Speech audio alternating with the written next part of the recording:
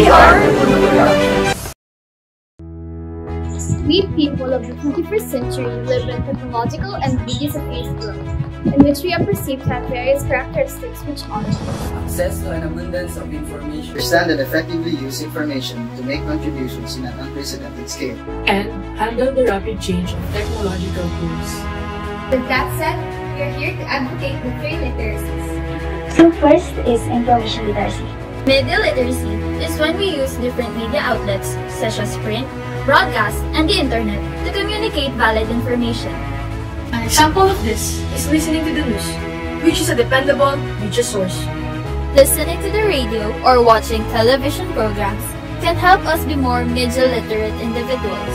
With the different updates around the world, we would be more aware of various situations and therefore we are filled with knowledge on what we need to do. In addition, this is very essential during this pandemic because we are informed of the implemented health protocols. Next is information literacy. Information literacy is a fundamental skill. It is our ability to determine and evaluate whether an info is needed and credible when we are able to effectively use it for communication. One positive example of this is using a credible source in terms of information gathering. Fake news is rampant today. Hence, people should always be conscious about every article they read. Is it true? Is it factual? Is a website reliable enough? Lastly is technology literacy. Technology literacy make us innovative and digitally capable human beings.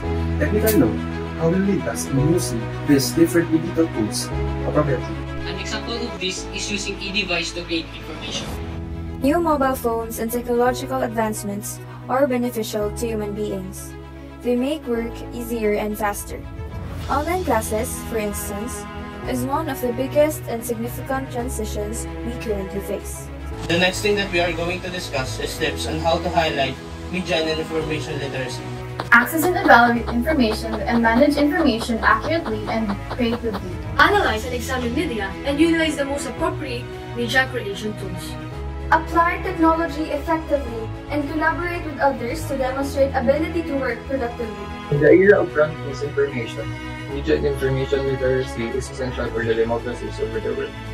Some people are overloaded with information, others are starved for information. And information literacy is a basis for enhancing access for knowledge and information, freedom of expression, and quality education. In other words, it covers the competencies that are vital for people to be effectively engaged in all aspects of development. And lastly, engagement leads to empowerment.